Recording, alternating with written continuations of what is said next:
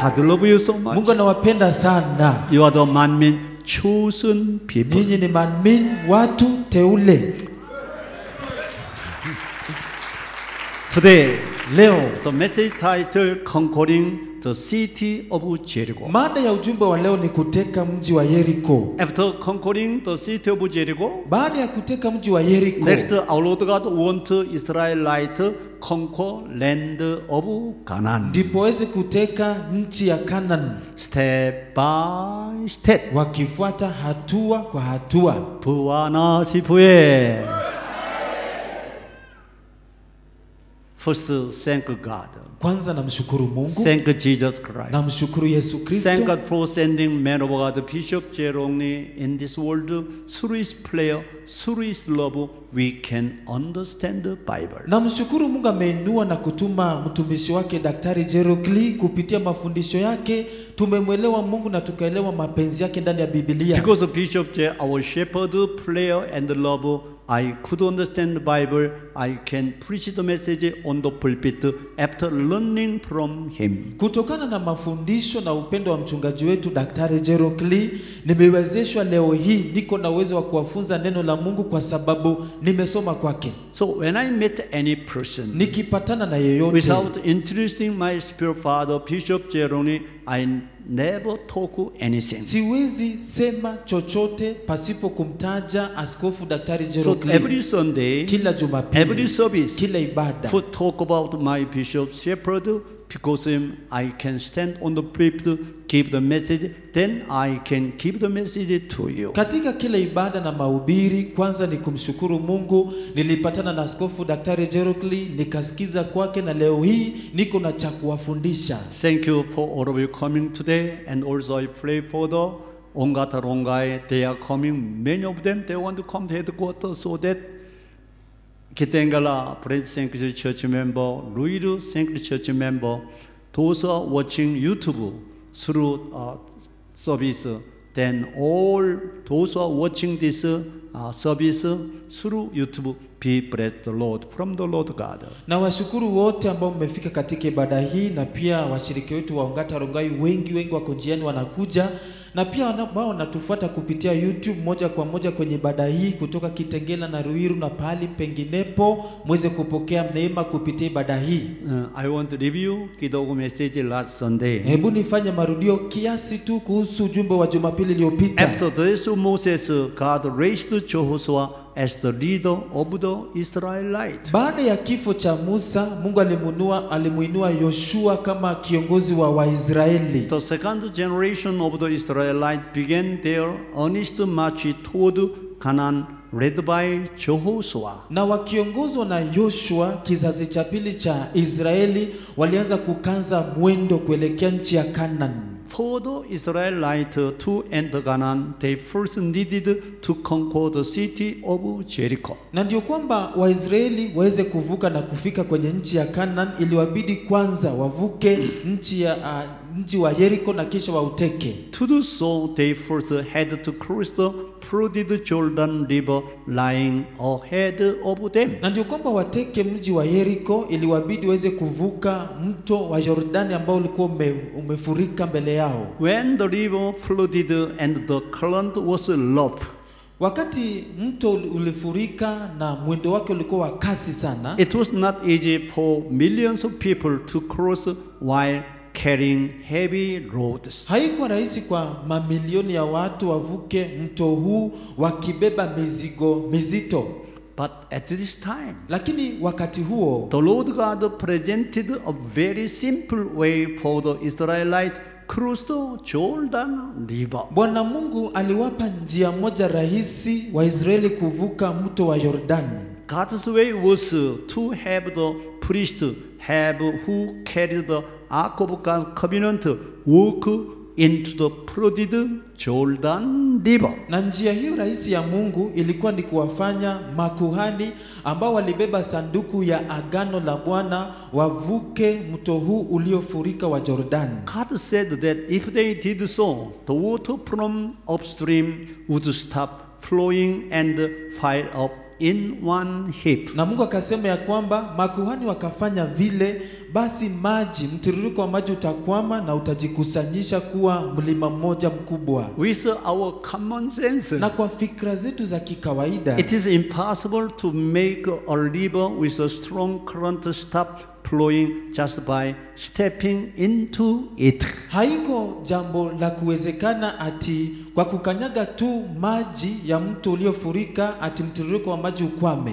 However, Hata hivyo, because they had experienced the splitting of the big Red Sea, the Israelites believed that making that overflowing river stop shouldn't be a problem at all. kwa sababu hawa Waisraeli walikuwa wameshashuhudia bahari ya Shamu ile kubwa imegawanyika kuwili kwa nguvu za Mungu, waliamini ya kwamba kusimamisha mtiririko wa mto huu uliofurika haukuwa jambo la kuwasumbua. According to God's word delivered by Joshua, the priest obeyed immediately and stepped into the flowing water carrying the ark of the Lord. Na kulingana na agano ama kulingana na amri ya Mungu kuelekea Yoshua, basi wale makuhani walitii mara moja na kisha wakakanyaga maji ya mto ule wakibeba sanduku la agano la Bwana. As soon as the priest's feet were dipped in the water, the flow of the overflowing Jordan River stopped by God's almighty power. Na punde tu makuhani walipokanyaga miguu yao kwenye mto ule,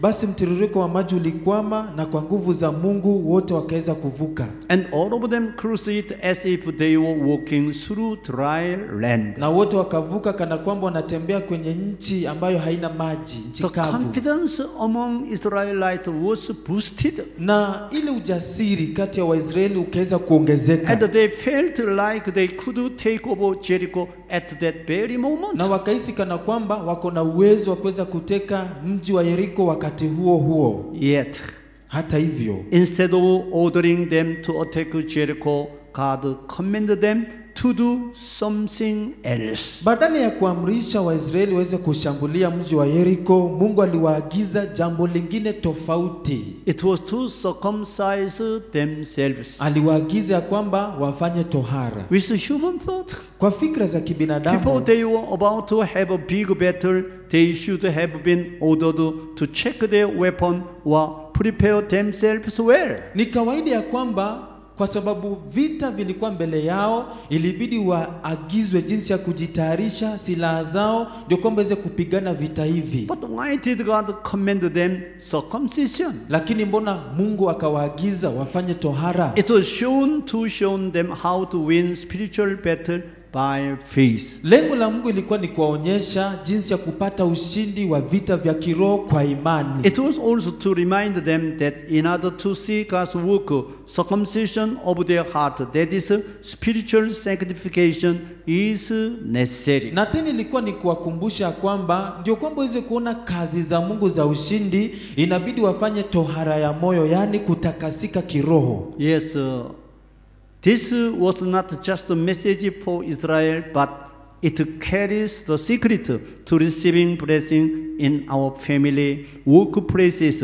and business, and giving glory to God. Na ujumbe huu haukuwa ni ujumbe tu kwa taifa la Israeli, lakini imebeba siri za baraka katika famili zetu, kazini kwetu, biashara zetu, na katika namna zote za kumtukuza Bwana Mungu. So you can understand, I can understand, even though learn a shop in the market, in the road, you have to treat customer, prepare goods to sell them, then customer want to come to your shop again and again.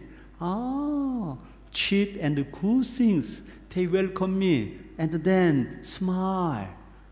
Then customer talk together. Let's go to this shop. They sell good things. They do not cheat us.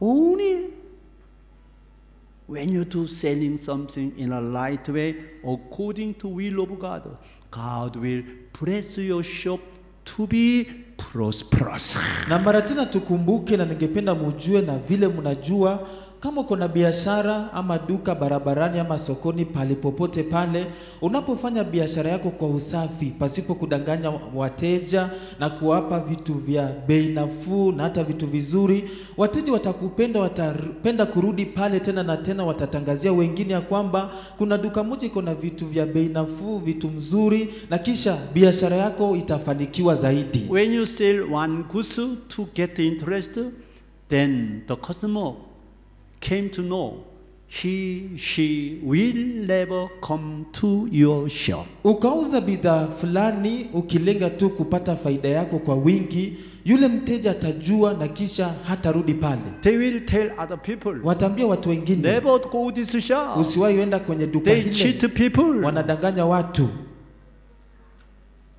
Hallelujah. But people Lakini watu cheat wanadanganya to get one shilling, 50 shilling, to get interest. apokee faida angalau ya shilingi hamsini ama mia zaidi.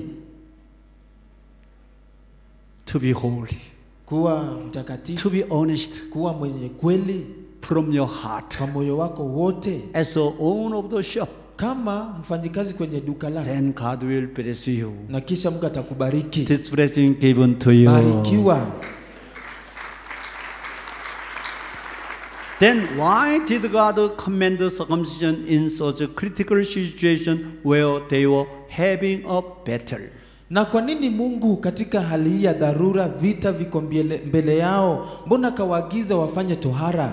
It was to teach not only Israelite but also us today how to win victory in a spiritual battle. Ilikuwa ni funzo si tu kwa Waisraeli, lakini hata sisi siku hizi ya kwamba tutajua aji kushinda vita vya kiroho. Newcomers, Wageni, you know today spiritual battle, ujue leo vita vya kiroho not physical battle. si vita vya kimwili. Then we can be successful how to lead a victorious life. Ndio tutafanikiwa tuishi maisha ya ushindi kila wakati. The Bible says in Ephesians chapter 6 verse 12, Biblia inataja kwenye, kwenye Waefeso 6:12 our struggle is not against flesh and blood but against the rulers, against the powers, against the world forces of this darkness, against the spiritual forces of wickedness in the heavenly places. Kwa maana kushindana kwetu si juu ya nyama na damu, bali dhidi ya falme, mamlaka, dhidi ya wakuu wa giza na majeshi ya pepo wabaya katika ulimwengu wa roho. From a physical perspective, Katika mtazamo wa kimwili kidunia, the conquering of Canaan must have been seen as a battle between different peoples. vita vya kuteka nchi ya Canaan kwa mtazamo wa kimwili inaonekana kana kwamba ni vita kati ya watu tofauti wa kimwili, But actually, they were spiritual battle between good spirit helping God's people and evil spirit trying to dishonor God. lakini ukweli ni kwamba ilikuwa ni vita kati ya roho wazuri wa Mungu ambao wanasaidia watu wa Mungu na roho wachafu ambao wanajaribu kumkosea Mungu heshima. Battles in the spiritual realm determine the outcome of physical battles. Na ujue ya kwamba matokeo ya vita vya kiroho ndio inaamua matokeo ya vita vya kimwili. This was the case when David defeated the big Palestine warrior Goliath. Na hiyo ndio ilikuwa hali wakati Daudi alimshinda Mfilisti mkubwa jitu aitwaye Goliath. The Bible says in 1 Samuel chapter 7 verse 14, ukangalia, 47, ukangalia Samueli wa kwanza sura ya 17 47 Biblia and inasema all this assembly may know that the Lord does not deliver by sword or by spear, for the battle is the Lord's, and he will give you into our hand. wale watu wote waliokusanyika hapa watajua kuwa Bwana haokoi kwa upanga wala kwa mkuki, kwa kuwa vita ni vya Bwana, naye atawatia wote mikononi mwetu. This little boy David Huyu kijana mdogo Daudi was no match with Goliath in terms of height and strength. hangeweza kulinganishwa na Goliath kama ni kimo cha urefu ama nguvu. Suppose they fought with physical strength and techniques. Na tuseme kama wangepigana kwa nguvu za kimwili na mbinu za kimwili. Even though there had been 10, 20, or dozen of David, they couldn't have beaten a single Goliath. Ingekuwa ni vita vya kimwili, hata kama wangekuwa madaudi kumi ama ishirini ama zaidi, hawangeweza kumshinda huyu Goliath. Goliath was a mighty man with a spear and a sword. Goliath alikuwa jitu kubwa ambaye alikuwa amejiami kwa mkuki na upanga. He was fully armed with a shield, or helmet, and an armor. Alikuwa amejiami vizuri kwa ngao, kofia ya chuma na hata silaha zote. With a human thought, how could a strike from this little boy hurt such a heavily armed man Goliath? Na kwa mawazo ya kibinadamu inawezekanaje ya kwamba kijana huyu mdogo kwa kurusha tu jiwe aweze kuangusha jitu kubwa hili? But as a man, proper people, God, David won the spiritual battle. Lakini kwa sababu Daudi alikuwa mwenye haki machoni pa Mungu, alishinda vita hivi vya kiroho. David Daudi just used sling and one stone. alitumia tu jiwe na kamba moja tu. Goliath, Goliath armed with all his body, Aliza kujiami mwili wote only helmet, na kuna kofia ya and chuma, only there is a face appeared. ni uso tu ndio ulionekana pekee. When David threw this stone with a sling sling, Daudi alitupa jiwe, who controlled this stone? nani alielekeza jiwe? Now, Sasa this stone, hili ni jiwe, David thrown. Daudi akatupa, ikakuja. Who control Nani alikuwa na control? Angel. Malaika. Angel. Malaika ndio Angel. huyo akakontrol Control na stone. ikakuja Touch the head of. akamgonga. This is a battle, Ni vita spiritual battle. ya battle. kiroho. God control everything Mungu everything. ana control kila kitu. Hallelujah. Amen. Even though here, Hata hapa my angel is the right hand now. malaika wangu mkono wangu wa My angel very very big. ni mkubwa mkubwa sana, Also one angel beside you. na malaika moja kwa kando yako, Wherever you go, popote uendapo, your angel follow. malaika na kufuata When you drive a car, Ukiendesha gari, angel follow. malaika na kufuata. Then why did you meet accident? Na mbona upate ajali Because you do not obey. Usipotii Commit sin. unazini Steal other people. na unaiba Choose other people na unahukumu Get watu, money. unatafuta pesa, Then your angel cannot protect you. malaika wako hatokulinda Because you do not obey God's kwa word. sababu hukutii Do maneno ya not keep Mungu regulation. au kufuata masharti yake. But when you obey, Lakini ukitii, do not cheat other people. usidanganye watu, commit adultery. usizini, Your angel can protect you from any car accident, any sickness, na hata ugonjwa, everything. kila kitu. Hallelujah. So that I give testimony. Ndipo nikatoa ushuhuda, Even though men of God, hata mtumishi wa Mungu sometimes test. wakati mwingine anapitia Even though. God test Abraham, Mungu alipima Abrahamu how to offer his only son Isaac, sacrifice your son Isaac as a burnt offering. akampima aje atamtoa mwana wake wa kipekee Isaka kama sadaka ya Abraham had no son. na Mungu alijua After 100 years old, baada ya kuwa miaka I mia will give the son to the Abraham. alimpa Abraham kijana. If you read Genesis chapter 20, the verse 1, Ukasoma Mwanzo 22 mstari wa kwanza. the Lord God tested Abraham. Bwana Mungu akampima Abraham. Even though God know Abraham obeyed, Hata Mungu alijua Abrahamu but atatii, tested lakini akampima perfectly obey or not. apime atatii kikamilifu au sivyo. Sacrifice your son as a burnt offering. Mtoe mwanao kama sadaka ya Immediately obeyed. kuteketezwa. Mara moja Took his son on the mountain, akamchukua mwana wake mlimani, threw his sword, akatoa upanga wake, tried kill him. akajaribu kumuua. Angel of Malaika akatokezea, Abraham, Abraham, Abraham, Abraham, Stop to kill you. acha kumuua Now mwanao. I know you obey God's word. Natii maneno ya Mungu. Makofi.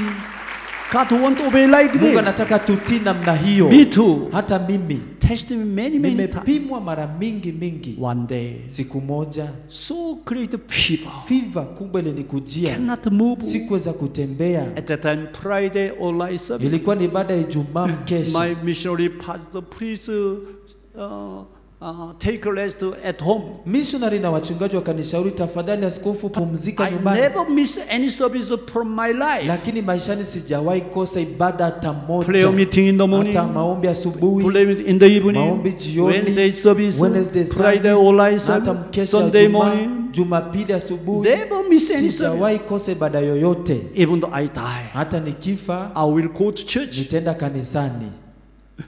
Cannot raise my head. Sikuweza kunyosha hata kichwa, ilikuwa ni kichwa inauma sana, Silently na kwa unyamavu tu kneel down, nikapiga magoti hapa, continue pray. nikaendelea kuomba. When the time come, preach the word of God. Wakati wa kuhubiri ukaja Because of headache. kwa sababu ya kichwa kuuma. Nevertheless, Isitoshe, trust God. Nikamini Mungu. When I stood Wakati from nilisimama my chair, kwenye kiti, when I stood on the pulpit, nikasimama kwenye start to give the message, nikaanza kuhubiri, people went away. Then I preach it powerfully, Nikahubiri kwa nguvu zaidi continually. na kwa kuzidi, More power given nguvu to zikakuja tu zikakuja tu. God want you. Mungu anataka wewe Have this good uwe na imani mzuri kama hiyo This blessing given to you na ubarikiwe siku ya today. leo. In the time of Moses, uh, Israel battled with the Amalekite. Na wakati wa Musa Waisraeli walipigana na Waameleki As written in Exodus chapter 17. kama vile imeandikwa kwenye sura ya kumi na saba ya kitabu cha Kutoka. When Moses played with his hand up, Wakati Musa aliomba akiinua mikono yake juu, Israel won. Israel walishinda And vita. when he got tired and lowered his hand, the situation reversed and the Amalekite won. Lakini wakati alichoka akashusha mikono yake chini, hali iliweza kubadilika na Waamaleki wakashinda vita. Realizing this, Aaron and Hur took a stone, had Moses sit on it, and held his hand up on both sides. Na wakati Haruni na Huru walitambua hili, walichukua jiwe wakamketisha Musa na kisha wakainua mikono yake yote juu. So until Joshua defeated Amalek and gained victory with the people, Moses' arm was not lowered. Na mpaka wakati Yoshua aliweza kushinda Waamaleki na akaweza kupata ushindi kwa watu wake, mkono wa Musa haukushushwa. Eventually, the battle resulted in Israel's victory. Na mwisho mwisho ushindi ulielekea Israeli. The secret of their victory was Moses' prayer. Na siri ya ushindi wao ilikuwa ni maombi ya Musa. Hallelujah. How could I victory in Africa? Nilipataje ushindi hapa Afrika? I believe that my bishop pray for me for Africa continually. I can pray, I can obey words, I can have a victory by the grace of God. Nimekuwa nikiamini ya kwamba nikipigana vita vya kiroho huku, askofu ananiombea na kupitia maombi yake napata ushindi kila wakati, Anytime God bless me, na kila wakati nabarikiwa. Not me. Si mimi, after meeting a man of baada ya God, kupata mtumishi wa Through his Mungu prayer, kupitia maombi through yake his peke love, yake na upendo I wake, can lead a victorious life. nikaishi ushindi kila wakati. Manman family. Jamii ya Manmin, To meet a man of God is great mtumishi wa Mungu ni blessing. baraka kubwa. Hallelujah. When Moses prayed, the heavenly angel and the host got strength to fight. But when Moses didn't pray, they lost strength. Wakati Musa alikuwa akiomba, basi majeshi na malaika wa mbinguni walipokea nguvu za kupigana vita, lakini wakati Musa hakuomba, wale majeshi na malaika wakapoteza nguvu. Other than these two incidents, in many parts of the Bible, we find record saying that the outcome of physical battle is determined not by flesh and blood, but by the spiritual battle. Kando na matukio haya mawili ambayo nimekuelezea na zingine ambazo ziko kwenye Biblia pande mingi, tunapata rekodi ambazo zinatutambulisha ya kwamba vita vya kimwili haviamuliwi na damu ama, ama mwili, lakini namuliwa na vita vya kiroho. So that if you receive Jesus as personal Savior, our Lord God sent one angel to be with you. Ujue ukipokea Yesu kama mkombozi umeokoka, ujue Mungu anakutumia malaika mmoja awe na wewe. Also, in this uh, air, Na hapa hewani evil spirit kuna roho chafu and angel na kuna malaika they are fighting together. wanapigana vita. Evil spirit, roho chafu. when you sleep tonight, ukilala usiku oh, can you sleep alone? utalala peke yako kweli You need a woman. So unahitaji mwanamke wewe You can enjoy. unaweza furahia maisha Who bring this thought to you? nani anakuletea mawazo kama hayo Evil spirit. adui roho chafu But Holy Spirit, lakini roho mtakatifu. No. hapana. If you meet a woman sleep, you, are, ukipatana you commit adultery. ni kuzini. So in your heart, moyoni mwako can I sleep with one woman? nitafute mwanamke. Or to not sleep with ama woman? nisimtafute? They are fighting. kunakuwa na vita. Spiritual ni mambo ya kiroho. Evil spirit, God, angel fighting in your heart. roho wachafu na malaika wanapigana. So when you have good faith, na ukiwa na imani mzuri no, I know Bible. utasema After attending baada ya Church. kushiriki Manmin Church Children of God, mtoto wa Mungu remove this adultery heart. niondoe moyo wa kuzini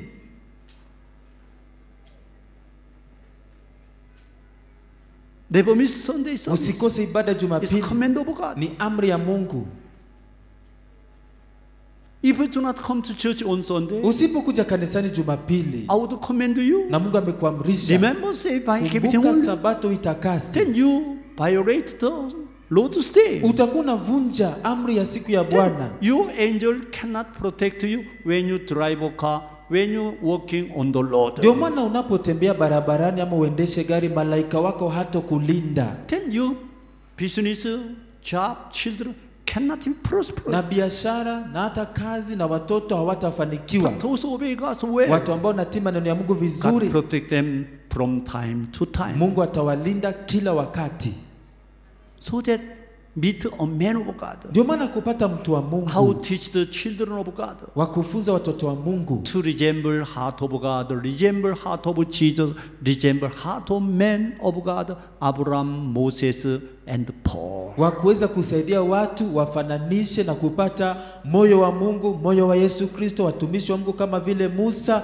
Abrahamu na Paulo. So that you are so blessed to come to Manmin Church this morning. umebarikiwa sana asubuhi ya leo kuja Manmin Church ya Nairobi. If you are blessed, clap your hand by the grace. ishara kwa mikono. Asante. mbele za Bwana. Asante sana. We should know that even though we don't physical fight as soldier, all appear in our daily life are related to the battle in the spiritual realm. Na tujue kila wakati, hata kama tutapigana vita vya kimwili kama maaskari, lakini mkumbuke mambo yote ya maisha yetu kila siku inahusiana na vita ambavyo vinaendelea, vita vya kiroho. A common example is when believers are severely persecuted at home or at a workplace. Mfano mzuri ni wakati muumini Mkristo anapitia mateso, iwe ni kwenye famili yake ama kazini anapofanya kazi. From a physical perspective, the family members or workmates themselves are the t one who persecute them. Katika mfano huu tukaiangalia kwa mtazamo wa kimwili kikawaida na fikra za kibinadamu, utapata ni kwamba wale wa family ama mfanyikazi kule kwenye kampuni ndio anakutesa, But spiritually, lakini kiroho it is the evil spirit inciting them to trouble the believers. inakuwa ni roho wachafu ndio wanawasingizia waweze kusumbua waumini wa Kristo. When the persecuted ones please God and get empowered by God, Wanaoteswa wanapopendeza Bwana na kupokea nguvu kutoka kwa Mungu, with help from heavenly angel and the host, they cause evil spirit to lose strength. utapata ya kwamba majeshi ya mbinguni na malaika watapokea nguvu na kisha watasababisha roho wachafu apoteze nguvu zao, As a result, na matokeo yake the persecutors give up. wale ambao wana, wanatesa waumini watachoka. We have experienced this many times through overseas crusade conducted by our shepherd, Bishop Dr. jero D. Na tumeshuhudia jambo kama hili mara mingi kupitia mikutano kadhaa ambayo Askofu Daktari Jerokli ameweza kutenda kote duniani. People our shepherd visited a country where we he would conduct a crusade, many times the enemy devil severely interfered. Na kwa wakati mwingi kabla askofu, askofu kufika kwenye taifa ambalo angeweza kufanya mkutano mkubwa, mara mingi mingi adui alijaribu kusumbua kazi yake na kuiharibu. But once our shepherd got off the plane and stepped on the land. Lakini wakati askofu alitoka kwenye ndege na akakanyaga kwenye nchi ile, In case of India, uh, Chennai city, sana sana India, mji wa Chennai, when you had a big crisis, 3 million attended in the Chennai beach. wakati alifanya mkutano mkubwa kwenye beach ya Chennai kule, watu milioni tatu walikusanyika pamoja, The interfering forces weakened so much. na nguvu za adui wa kusumbua walidhofika sana. The governor do not allow anyone to receive Jesus as Pope. if bishop preach Jesus Christ, he will put him in the prison. Serikali ilikuwa imeshatangaza ya kwamba hawaruhusu yeyote kuhubiri Kristo, kusaidia watu kumwamini, na ya kwamba askofu akahubiri mambo ya Kristo atawekwa gerezani. Governor announced in the city. Serikali walitangaza mjini kote. The chairman of the uh, organization, uh, crusade organization, please do not preach Jesus Christ so much. Na mwenyekiti wa kuandaa mkutano huu crusade kule India aliweza kumsia askofu, tafadhali usiendelee na mkutano huu, My bishop Debo lakini askofu hakuwa na wasiwasi. Through this crusade, Kupitia crusade hii many people receive Jesus. watu wengi walimpokea Yesu kama mkombozi. The next day, Siku iliyofuata even the policemen, hata polisi they want to how to arrest the people. walitaka ku, kushika watu. Impossible for them to arrest the people. Haikuwezekana kukamata watu, converted, watu ambao they would receive blessing from the message from Bishop baraka Jerome. kutoka kwa askofu Jerome Lee. They could see Waliona power God come upon them. nguvu za Mungu ziliwashukia kupitia maombi ya askofu. So many hundred of thousand people healed, give testimony Ma on the pulpit. Maelfu ya mia ya watu waliweza kutoa ushuhuda wakaponywa kutukuza Mungu. So last day, last crusade, Na crusade ya mwisho, three million attended. siku ya mwisho milioni tatu walikusanyika. Clap your hand. Tukuza Mungu kwa makofi. As our shepherd overcame the fierce spiritual battle with faith and prayer, the evil spirit lost their strength. Na kupitia maombi na imani yake askofu aliweza kushinda vita hivi vikali vya kiroho, na kisha roho wachafu wakapoteza vita hivi. As the camp of the enemy devil got destroyed, our shepherd won victory and glorified God. Na kama vile kambi ya adui ibilisi iliweza kuharibiwa kabisa, mchungaji wetu alimtukuza Bwana Mungu kwa ukuu na akashinda. Also, when I had a crusade in India, South Sudan, Juba, and another, no, Lumbe, Wakati nilifanya crusade mimi kule India na South Sudan, Rumbek na Juba, in the Rumbek city, around 50,000 gather is a great, great number. na Rumbek watu wa elfu hamsini wakikusanyika ni namba kubwa sana, Not a big city. si mji mkubwa sana. Then, after preaching, Baada ya mahubiri play on the pulpit. nikaomba kwenye madhabahu. Then, in the center, katikati, wa wa wa wa wa wa, watu wakaanza kelele, There was one blind man, kukawa na kipofu moja. very well known in the Rumbek city. anajulikana sana kule Rumbek, He received sight. aliona So that they were. na wote wakawa ni kelele, They brought this blind man come to the on the pulpit wakamleta huyu kipofu kwenye madhabahu juu, and give testimony. akatoa ushuhuda The news na habari come to the governor. zilifika kwa gavana. Governor come to me, Governor akanikujia, invite me, attend the crusade, akashiriki crusade, kneel down, akapiga magoti mwenyewe, pray for me. tafadhali niombee. From that time, Kuanzia hapo he loved me, or invite me. alinipenda na akapenda nialike, Then he become a uh, deputy speaker of the parliament in the Juba. Na baada ya maombi yangu akawa deputy speaker wa bunge la kule Sudan. He invited me Akanikaribisha, to have a seminar for the minister member parliament in the parliament. akaorganize semina ya mawaziri na wabunge ndani ya bunge. Power of God. Nguvu za Mungu ndio hizo. We are in the spiritual battle. Mujue tuko kwenye vita vya kiroho, How to love your God. na wewe kupenda Mungu How to wako your God. na kumwamini Mungu wako. God will control the whole world. Mungu anatawala dunia yote. Hallelujah. yeah.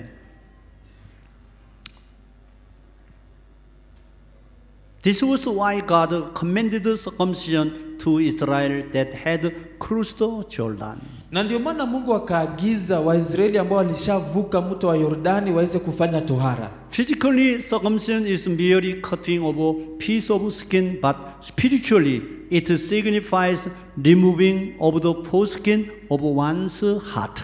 Kimwili kikawaida tohara inamaanisha kuondoa ngozi ya nje tu lakini kiroho inamaanisha kuondoa ngozi za nje za mioyo yetu. The Bible says in Jeremiah chapter 4, verse 4, circumcise yourself to the Lord and remove the foreskin of your heart, men of Joshua and the inhabitant of Jerusalem. Biblia imetuambia kwenye yeremia 4 mstari wa 4 jitahirini katika bwana tahirini mioyo yenu enyi wanaume wa yuda na watu wa yerusalemu Here to remove the foreskin of your heart is to circumcise your heart. na hapa ikisema kuondoa ngozi ya nje ya mioyo yetu inamaanisha kufanya tohara ya moyo kutakasa moyo Namely, it is to remove sin and evil and purify yourself by keeping God's commandment. Yani inamaanisha kuondoa dhambi na kila uovu na kujisafisha mwenyewe kwa kutunza amri za mungu Even though we commit sin is a sin, hata tukatenda dhambi the great sin, we do not receive Jesus as a personal Savior. unaweza ukatenda dhambi kadhaa lakini dhambi kubwa zaidi ya zote ni kutomkubali yesu kama mwokozi We do not know God is a Father, our Creator. usipojua mungu ni baba yetu na muumba wetu It's a great sin. ndio dhambi kubwa zaidi But human being, lakini binadamu after receiving Jesus personal Savior, baada ya kumpokea yesu kama mkombozi told a lie. na ukadanganya When you repent, ukatubu you can enter the kingdom of God. utasamehewa uingie katika ufalme wa mungu But if you do not receive as personal Savior, Jesus died on the cross for you and my sin. lakini ya kukosa kumkubali yesu kama mkombozi na kujua ya kwamba alikufa msalabani juu ya dhambi zetu You do not know God, God's Son, Jesus, God's Son, Holy Spirit, then you cannot under, uh, enter the kingdom of God. na usipojua kuhusu mungu, yesu mwana wa mungu na roho mtakatifu hautaweza kuingia katika ufalme wa mungu So that God want all you to be a witness. ndio maana mungu anataka nyinyi nyote muwe mashahidi So that from time I give the message about First Peter chapter 3, verse 15 and 16. ndio maana kila wakati nimekuwa nikirudia ujumbe kwenye petro wa kwanza tatu kumi na tano kumi na Why I love to repeat this message in the morning to the pastor workers, in the evening Daniel prayer meeting, also today to the whole congregation. na mbona nipende kurudia rudia ujumbe huu wa petro wa kwanza tatu kumi na tano kumi na sita kwa wachungaji wetu kila asubuhi na washirika kanisani kila maombi jioni na hata leo hii If I emphasize one more, more time, more time, we need this message, memorize this message till you meet our Lord Jesus in the air. nikasisitiza na kusisitiza kurudia rudia hivi ujue ya kwamba tunahitaji sana ujumbe huu mpaka tutakapomlaki bwana angani First Peter petro wa kwanza. chapter 3, tatu 15, 16. kumi na tano na kumi na sita I don't I know I don't know how many remember this message when I repeated last Sunday as a review. sijui wangapi mnaikumbuka wakati nilirudia kwenye ibada ya jumapili iliyopita One more time. mara tena Today we are talking about circumcise our heart. leo hii tunaongea kuhusu tohara ya moyo. Today we are talking about how to be sanctified, to be holy. Then God give you power.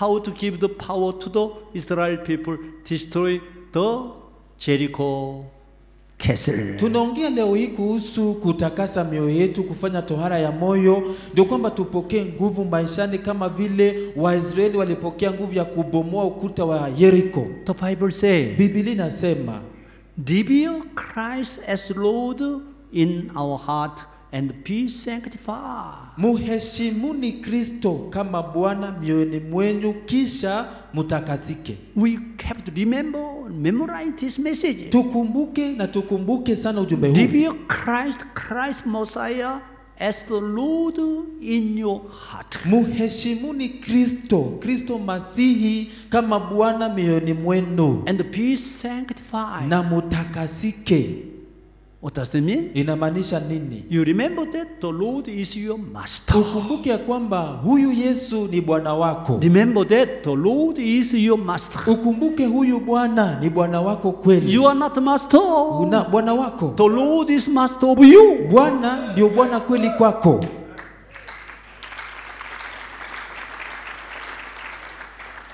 And then halafu Bible say, Biblia ikasema always be prepared to give an answer to anyone who asks you, to give the reason for the hope you have with gentleness, with fear, with clear conscience. conscience. ikatuambia siku zote tuwe tayari kutoa jibu kwa yeyote atakayekuuliza kuhusu sababu ya tumaini ambalo uko nalo na ukatoa sababu ile utoe kwa moyo kwa, kwa, kwa utoe kwa heshima na utoe kwa upole na kwa dhamiri safi. Paul give this message. ni paulo petro Ah, alisema. Peter give this message. ni petro alisema. When Peter experienced many things in this world in the spiritual battle, wakati petro alinena mengi huku duniani kuhusu vita vya kiroho.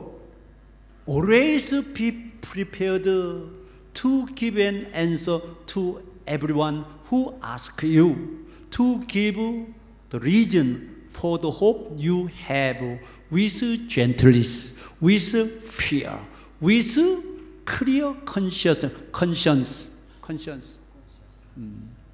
Akatuambia siku zote muwe tayari kutoa jibu kwa yeyote atakayewauliza kuhusu sababu ya tumaini ambalo liko ndani yenu, na mkatoa sababu mtoe kwa upole, kwa heshima na kwa dhamiri safi.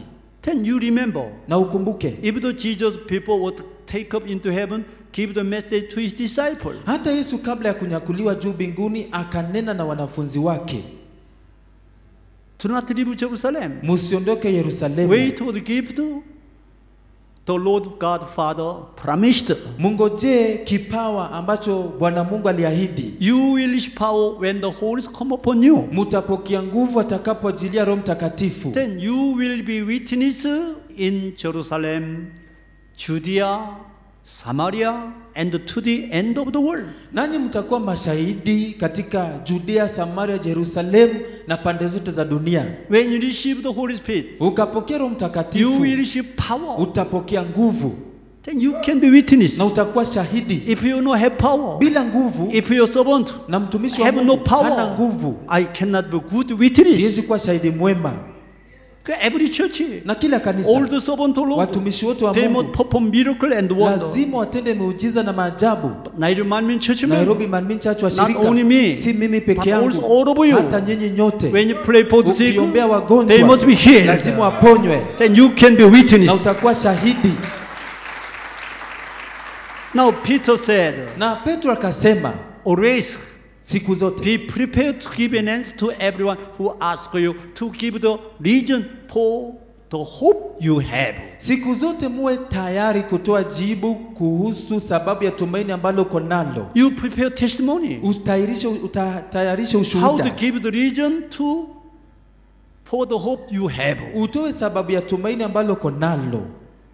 When you are healed, when you know Bible, na unajua Biblia, you prepare this man, teach your brothers and sisters in the Lord. utayarishe ujumbe, ufunze ndugu zako katika But when you preach this message, Ukihubiri when you give testimony na utoe ushuhuda wako in Nairobi, hapa Nairobi, in Kenya, Kenya, in Africa, Afrika yote all over the na world. dunia nzima, Number one, kitu cha kwanza with kwa gentleness. upole, Number two, ya pili with fear. kwa heshima, Number three, ya tatu With a clear kwa conscience. dhamiri safi, With gentleness. kwa upole, With fear. kwa heshima, With a clear conscience. kwa dhamiri safi. What is the gentleness? Upole ndio nini? God wants you gentle. Mungu anataka uwe mpole, Are people proud of themselves? lakini watu wako na kiburi. People become angry. watu wanakasirika. Then when you become angry, Ukakasirika, they do not want to listen from you. hakuna mtu atataka, atataka When you become gentle, Ukiwa mpole, they won't talk with you. watataka kuongea na wewe. What does the mean? This gentleness. Upole upole sasa unamaanisha nini? Gentleness uh, mean the relationship between you and other people. Upole hapa unamaanisha uhusiano kati yako wewe na binadamu mwingine, The with fear. na kwa heshima. What is the fear? Heshima hapa inamaanisha Fear means the relationship between you and God. heshima hapa ni uhusiano kati yako wewe na Mungu, You fear the Lord. kumheshimu Bwana It means you respect the Lord God. na kumheshimu Bwana Mungu, What is a clear conscience? na dhamiri safi nayo. Clear conscience. Kuwa na dhamiri safi What does that mean? inamaanisha Clear conscience means you yourself. hapa, dhamiri safi inamaanisha uhusiano wako kivyako wewe mwenyewe, The relationship between you yourself. Uhusiano kivyako wewe na wewe mwenyewe. When people say, Watu wakisema inside evil thought, outside talking well. unapata ndani ni uovu, lakini nje anatamka vizuri, Because they do not have a clear conscience. kwa sababu hana dhamiri safi. But those clear clear Lakini watu wa dhamiri safi, Inside, outside talking are the same. ndani na nje, yote ni sawa. Hallelujah. Hallelujah. When you check your life, Ukachunguza maisha how many you cheat other people? wangapi mnadanganya watu? You told them many, many times. Ukadanganya mara mingi Me too. hata mimi People mwenyewe meeting my kabla bishop, nipatane na askofu wangu, sometimes told a lie. wakati mwingi nilidanganya. It's true. Ni ukweli. God want you Mungu anataka wewe have a clear conscience. uwe na dhamiri safi, Then you will prepare the reason for the hope you have. Utatarisha sababu ya tumaini ambalo uko nalo. Ah, it touched my heart Imeguza moyo wangu when I read the Bible. nikisoma Bible.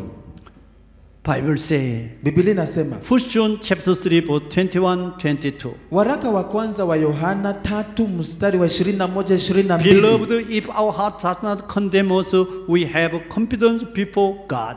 Wapendwa, kama mioyo yetu haitatuhukumu, tunao ujasiri mbele za Mungu. If our heart do not condemn us, we have confidence before God.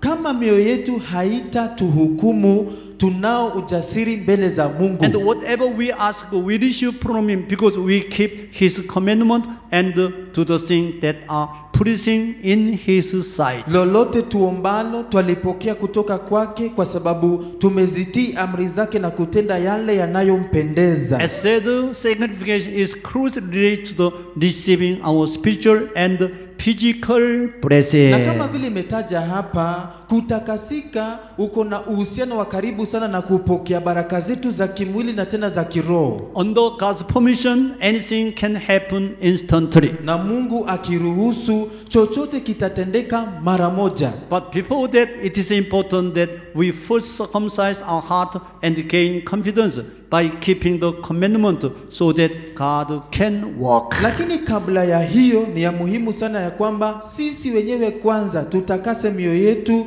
tuwe na ujasiri katika kutii amri za Mungu, ndio kwamba Mungu aweze kutenda kazi. Now, Sasa after the circumcision of the Israelite, baada ya Waisraeli kufanya tohara, there was great tension between Israel and Jericho. kulitokea wasiwasi mkubwa sana kati ya Israeli na Yeriko, As the Bible say, kama vile Biblia Now Jericho was tightly shut because of the son of Israel. No one went out, no one came in. Basi malango ya Yeriko yalifungwa kwa udhabiti kwa ajili ya Waisraeli, hakuna mtu yeyote aliyetoka au kuingia. Jericho put itself on the highest alert. Jericho wakajilinda sana wakiwa wanatahadhari, It looks like they felt no room for Israel's attack. na inakaa kana kwamba hawakuacha nafasi yoyote ya Waisraeli kuwapiga.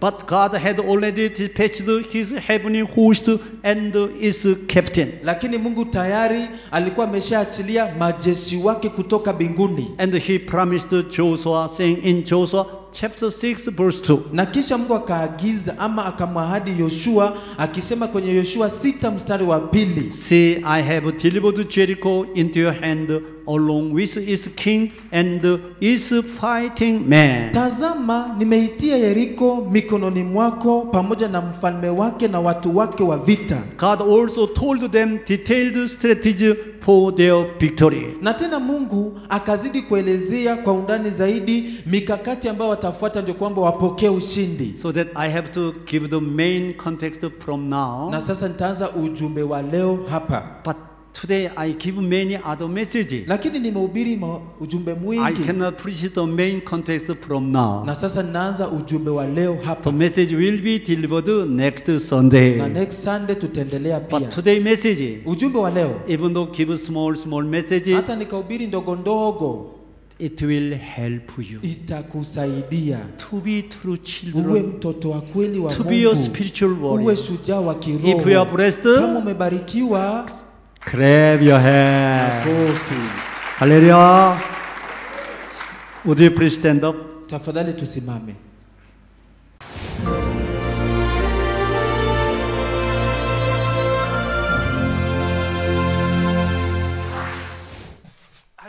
Hallelujah, Almighty Father God of love. Please lay your hands on all believers who are receiving this prayer now. Show your works that transcend space and time on those who are receiving this prayer around the world. Give them faith and drive away negative thoughts and doubts and drive away all tests and trials. From head to toe, all entrails, joints, nerves, tissues, and cells, whatever the sick part may be, burn them with the fire of the Holy Spirit and with the original light. In the name of Jesus Christ, I command the enemy devil and Satan, all diseases, germs, and viruses and infirmities, go away. May the light come. Drive away all endemic diseases such as malaria. All contagious diseases such as cold, flu, and fever, go away. Protect them from all kinds of germs and viruses. Heal them of after effects of all kinds of accidents and fix their broken bones. Restore them from burns and let the heat and burning sensation go away and let there be no scar left. Be cleansed from all kinds of drug addictions, poisoning, and substance abuse. Give them the blessing of conception. May you receive the blessing of conception. In the name of Jesus Christ, I command the enemy devil and Satan, the ruler of the air, and evil forces of darkness, go away. And their servants also go away. Father God, give them strength to cry out in prayer and to cast off sin and to become sanctified. As their soul prosper, let all things go well with them, let their family be evangelized. Protect them from all kinds of accidents and disasters throughout this week, and bless them to lead a prosperous life without any problems. With the firewall of the Holy Spirit, with the heavenly hosts and angels, and with your blazing eyes, protect all your children, their family, workplace, and business. Give students wisdom and understanding, and give them fervent passion to study hard. Please keep their hearts and minds from the worldly things, and let them love Father God all the more fervently. Whether your children eat or drink or whatever they may do, let them do it all for the glory of Father God. Let them say, I met God, I experienced God, I received answers and blessings. Let them testify with their lips like this Father God, thank you. Be glorified alone. In the name of our Lord Jesus Christ, I pray. Amen.